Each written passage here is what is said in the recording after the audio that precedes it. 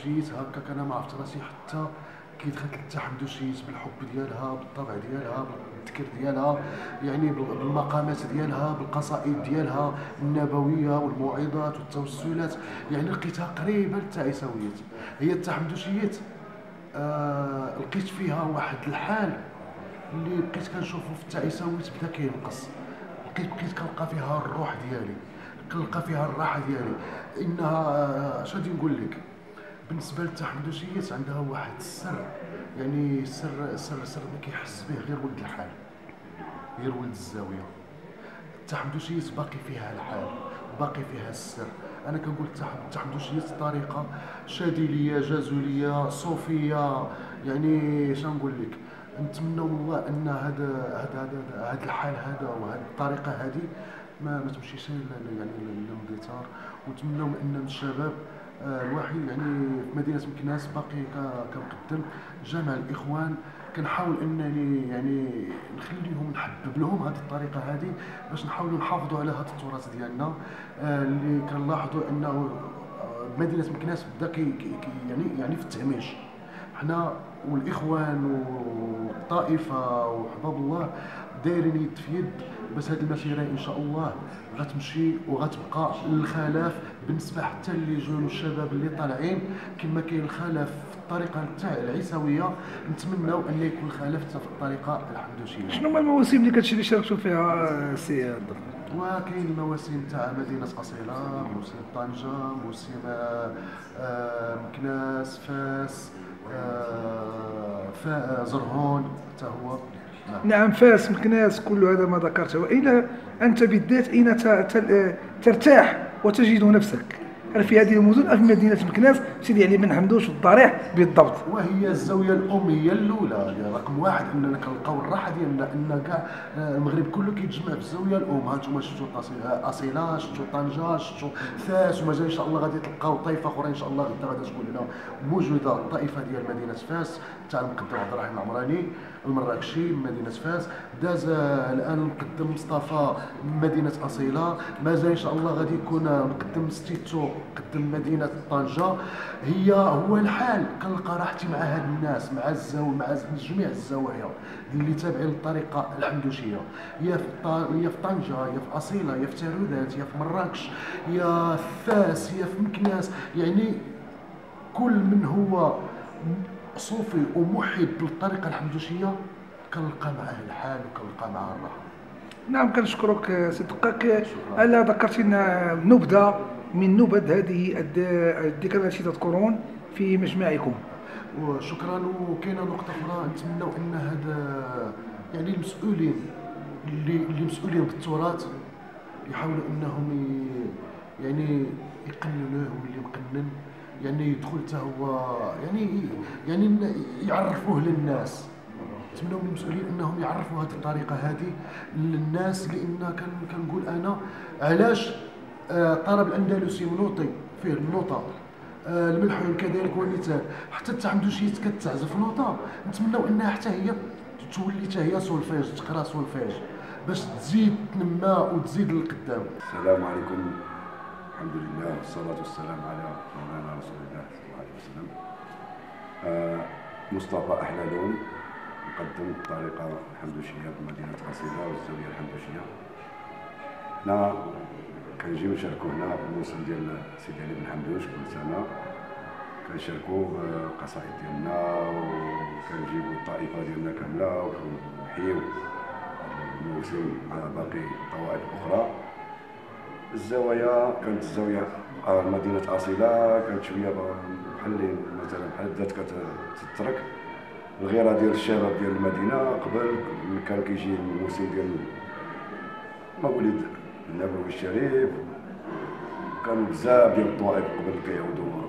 15 طائفة ديال احمد شاه جميع لأن جات دايره بها بوادي ديالها كل بلديه عندها الطائفة الحمدوشية ديالها كيجيو تما وكيتهموا الطوائف طائفه مور طائفه وداك الشيء بدا كيندثر وكان كينقاس انقسم وحنا ما بقى والو. بقى طيبه وحدة من بعد ما بقاش داك الشيء شي عامين ما كاين حتى حاجة. نوضنا حنا مجموعة الغيرة ديال على التراث الحمدوشي مع مجموعة الشباب. اقترحنا نكونوا واحد المجموعة واحد الجمعية يعني نحيوا هذا التراث عمرنا الزاوية وبدينا كنعلموا الإخوان وحنا غاديين في الطريق إن شاء الله. ودابا بدينا لقينا الناس معطشين ديك الحمدوشيه عائلات أحمد شاف الدم ديالهم وديك الشيء. مشاو دابا معنا حنا غادي إن شاء الله الطريقة الطريقة الحمدوشيه وكنشاركوا المواسم الموسم مثلا كيتقام كل كل جهة مثلا كيعمل الموسم ديالهم كيعرضونا كيعرضوا على الطوائف. موسم جنوب كيبدا الطريقة الحمدوشيه كنبدأو بالحزب ديال الولي صالح الشيخ العارف سيدي علي بن حمدوش قراو الورد ديالو. كنبدأو نديرو قصائد قصائد حمدوشية على بالطريقة الحمدوشية. في المدح على الرسول صلى الله عليه وسلم كل شيء ديال القصائد اللي كنديرو كامل قصائد دينية وقصائد أغلبها جلها في المدح ديال الرسول صلى الله عليه وسلم. وبهذا الشهر الميلود الشهر المبارك. كيتقام الموسم كيكون موسم كبير هنا في سيدي علي بن حمدوش. كيجيو جميع الطوائف المغرب كامل كيشاركوا وحتى حنا كنكون المدينة ديالنا. وهادشي القصائد يعني قصائد ماشي شفوية قصائد شفوية. وهي أصلا كتبوها شعراء هذا الشيء ديال التصوف. وبقات غدا ابا عن جد. كتورث من الحفاظه والفقراء الفقراء كنقولوا حنا هما الفقراء إلى الله. المريدين كيكونوا في الزوايا. بقى داك الشيء ما اندثرش وبدينا كنقلبوا القصيده الكتابة ديالها مكتوبة وداكشي نحفظوا نحفظوا الدراري كل القياسات كل واحد القياس ديالها. والفضل كامل كيرجع دابا المقدمين اللي غاديين بهذه الغيرة ديال الحمدوشيه باش ما تنضاد ما وقع شي اندثار وداك الشيء. وكنجيو هنايا سيدي علي بن حمدوش الموسم. الشيخ الطريقة الحمدوشية سيدي جمال يرحب بنا ويرحب بجميع الطوائف كاملين. وكيبذل مجهود كبير هو والشرفاء باش السمعة تبقى سمعة دينية شي واحد الله يسمح له ويعفو عليهم كياخذوا ديك الحال شي حوايج أما هي طريقه صوفية والولي الصالح كان عند الولي. آه الناس كياخذوا منه العبار وكان كيقدم دروس الدين والوعد والإرشاد. وحنا كنقيموا هذا الموسم هادشي بسم الله الرحمن الرحيم. اولا أرحب بالسادة الأفاضل طاقم الصحافه لأصوات الالكترونيه التي شرفتنا بحضورها في هذه الليلة المباركة ليلة التي سنحتفل بها غدا لذكرى لذكرى هذا الولي الصالح سيدي علي بن حمدوش. ولا شك أن هذه الذكرى تستقطب العدد العديد من الزوار والزائرات من جميع مدن المغرب حيث أن هذا الولي الصالح كون طاقما من المريدين حينما كان حينما اتخذ هذا هذا الجبل مقرا لسكناه وبحكم هؤلاء الذين توافدوا عليه من جميع مدن المغرب من شماله وجنوبه شرقه وغربه كلهم التجأوا إلى هذا الجبل وقضوا معه السنوات استفادوا من علمه ومعارفه. هؤلاء كانوا نواة لطريقة هذا الولي الصالح حيث أنهم انتقلوا إلى إلى جميع المدن المغربية. فكونوا زوايا متنوعة بفضل من حضر أو بفضل من كان يستفيد من هذه الطريقة. وهذه الطريقة حقيقة كانت أولا تعتمد على حفظ كتاب الله. ثم هؤلاء الذين يحفظون كتاب الله يتعلم. يا اولا يستفيدون من من كتب فقهية ودينية ثم ينتقلون إلى تلك الزوايا فينشرون تلك الطريقة.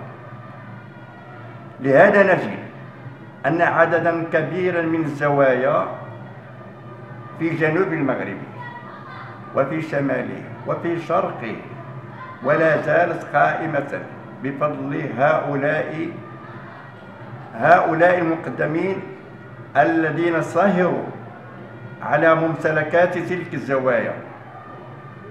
كما أنهم كونوا طاقما آخر استطاع أن استطاع أن يحفظ. مثلا ما ما خلفه لنا الأجداد. ولهذا نجد أن هذه الزوايا كانت لها عدة خدمات فهي لم تكن زوايا للذكر وتلاوة القرآن والأملاح النبوية. ولكن كانت أول صلة وصل بين الساكنة ساكنة الشمال والجنوب. ولهذا أنتم رأيتم وسترون غدا إن شاء الله. مجموعة من الطوائف. هؤلاء يتبادلون الخبرات يتبادلون قصائد المدح.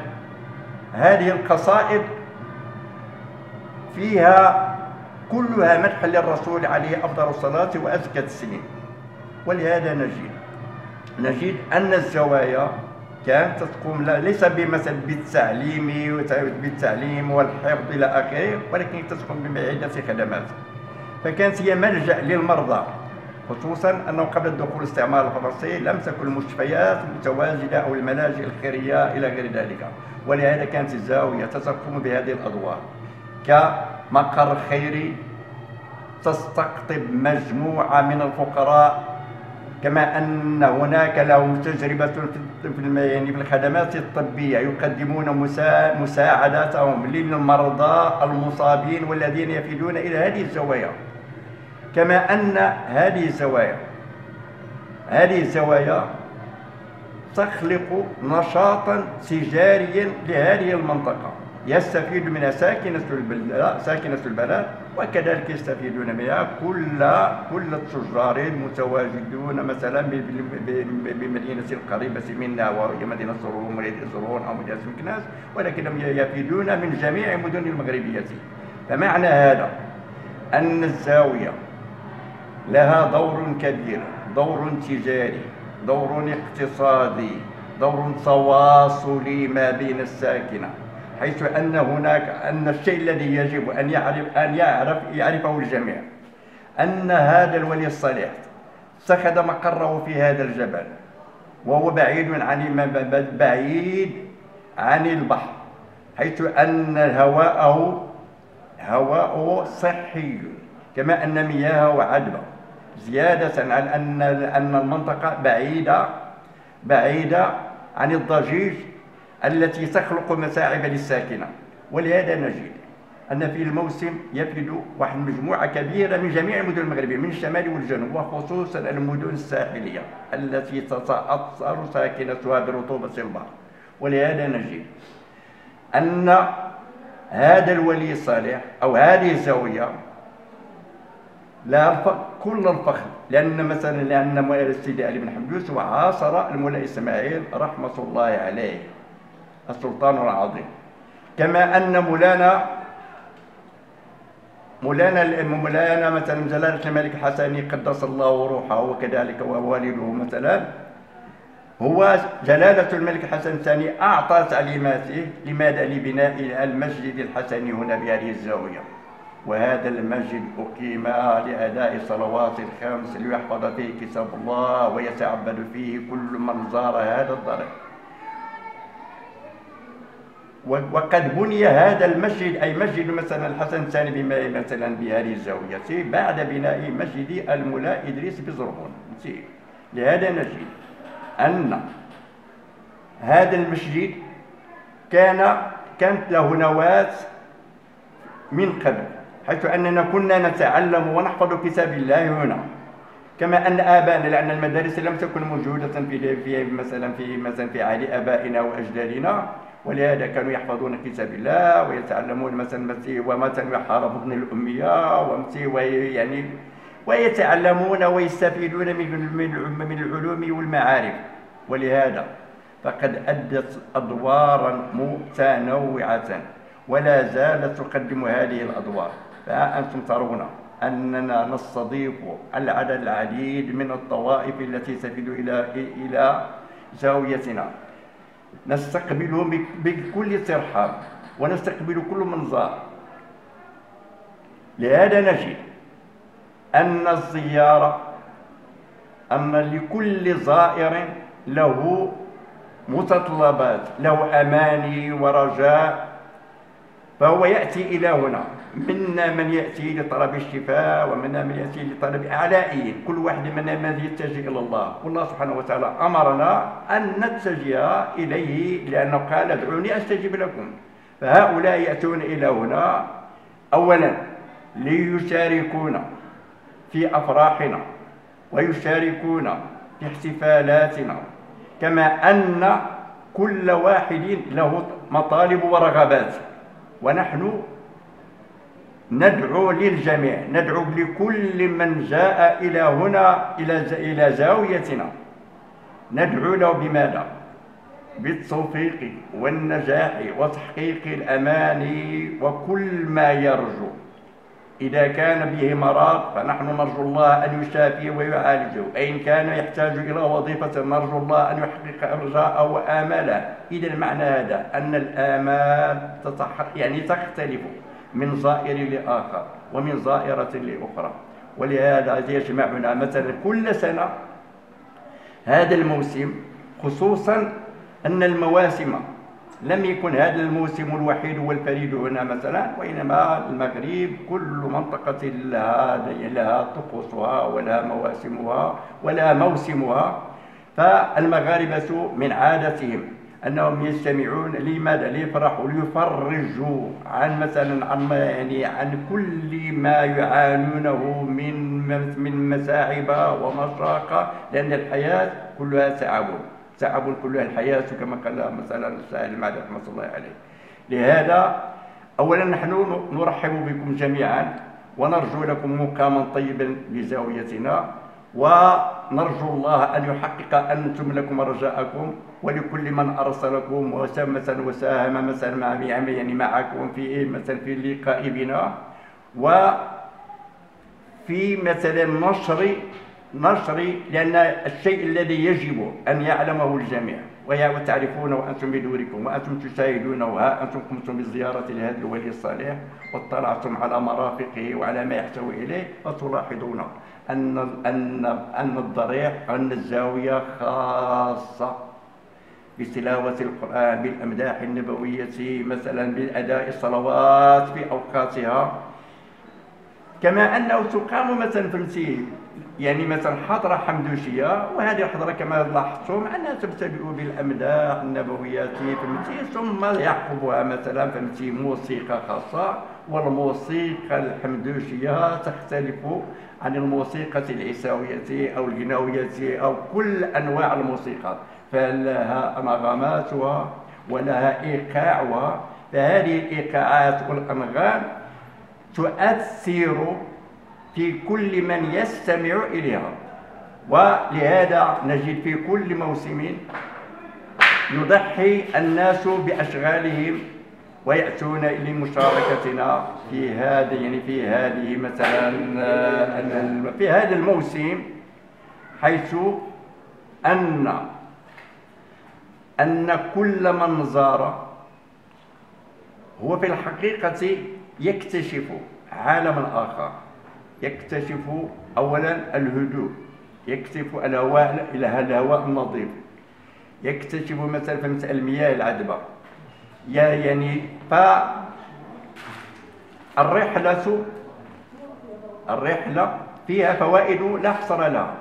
هذه الرحلة أن الإنسان يغير الإنسان البشر والشجر والحجر وكل ما تراه عينه فهنا منطقة جبلية منطقة كما تلاحظون منطقة عالية ولهذا اختارها أنواع سيدي علي بن حمدوش وقبله اختار إدريس الأول مدينة وليلي لتكون مقرا له. كما أن كما أن الرومان لماذا اتخذوا مثلا وليلي لتكون عاصمة لهم؟ رغم أنهم قطعوا مجموعة من المدن المغربية مثلا بحال مثل حسيمة طنجة أصيلة الأناضول عرائش كذا إلى آخره ولكن استقروا بمدينة وليلي. لأن وليلي كانت مركزا لأشجار الزيتون التي تعطي الزيت تغذية وإنارة. فبترول الذي نعاصره الآن هو هو في هو الزيتون الذي كان في عصر الرومان. كما أن هذه المنطقة كانت كثيرة التين والعنب. وتعرفون أن التين أن التين والعنب يجفف ويعصر منهم تعصر منه الخمور. ولهذا كانت هذه الخيرات تنقل إلى روما وإلى الدول المجاورة لها. كما أن ماذا يحيط مثلا ماذا يحيط بزرهون؟ سهول الغرب. وسهول وهي مناطق كلها كلها مناطق فلاحية تضر الخيرات. ما تنسوش تتابعونا على جميع وسائل التواصل الاجتماعي والاشتراك في القناة والضغط على زر الجرس.